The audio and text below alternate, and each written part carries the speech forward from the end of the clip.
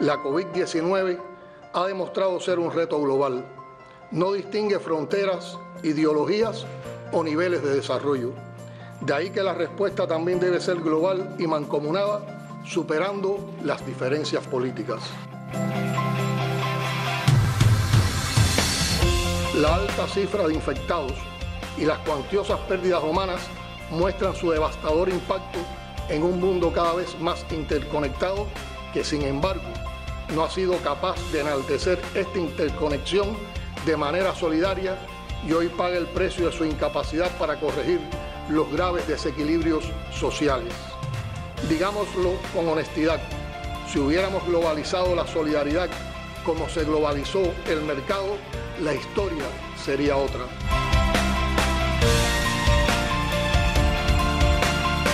La hora de años dedicando recursos a desarrollar y fortalecer la salud y las ciencias ha sido puesta a prueba y la evolución de la pandemia en Cuba en los últimos dos meses está demostrando cuánto pueden impactar las políticas de inversión social en el enfrentamiento a los mayores y más inesperados desafíos.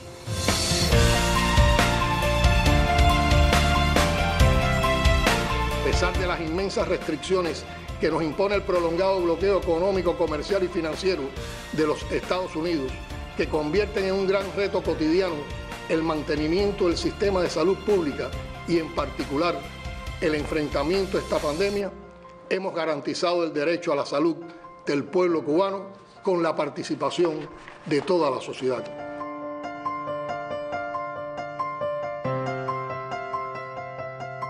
Cuba no abandonará su vocación solidaria, aunque el gobierno de los Estados Unidos, por razones políticas, continúa atacando y obstaculice la cooperación internacional que nuestro país brinda, lo que pone en riesgo el acceso de decenas de millones de personas a los servicios de salud.